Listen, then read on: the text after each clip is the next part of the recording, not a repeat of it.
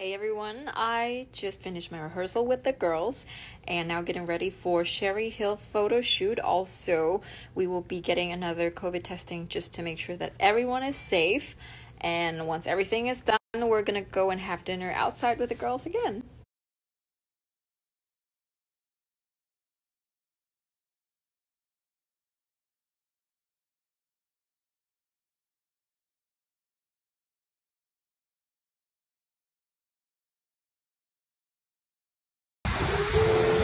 Have a Sherri Hill photo shoot. We're here with Indonesia. Oh my god, they're so hot.